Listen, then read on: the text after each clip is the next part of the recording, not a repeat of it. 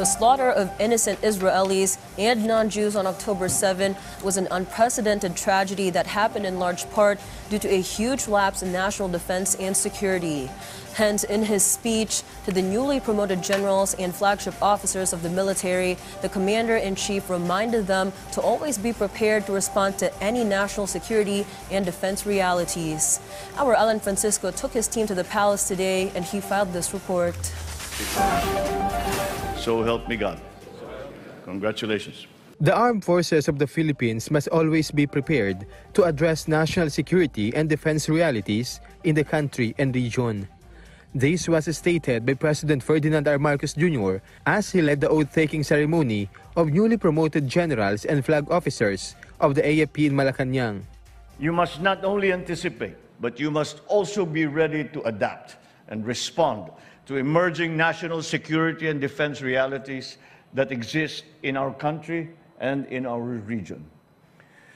While it is noteworthy that we see positive and encouraging developments in terms of our internal security situation, there remains much to be done.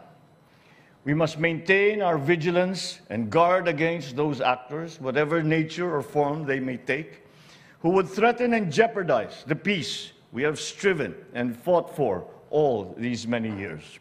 President Marcos also emphasized as Commander-in-Chief his directive to the AFP to ensure peace, especially in communities previously in conflict. As new leaders of the AFP, the Commander-in-Chief hopes the armed forces of the Philippines will be faster in addressing various issues and executing solutions.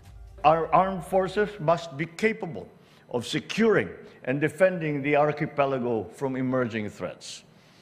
I urge you to further enhance joint planning and operations to ensure interoperability across all AFP units and platforms.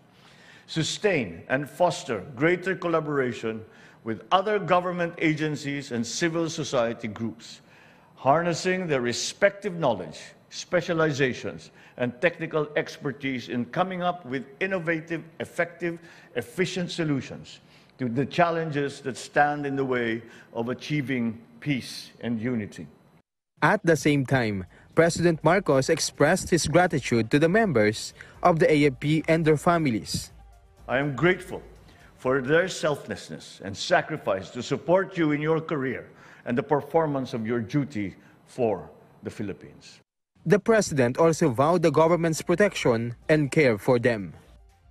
Join me now and our nation as we together march forward in unison towards that future that is filled with hope and pride and unbound opportunities for all Filipinos.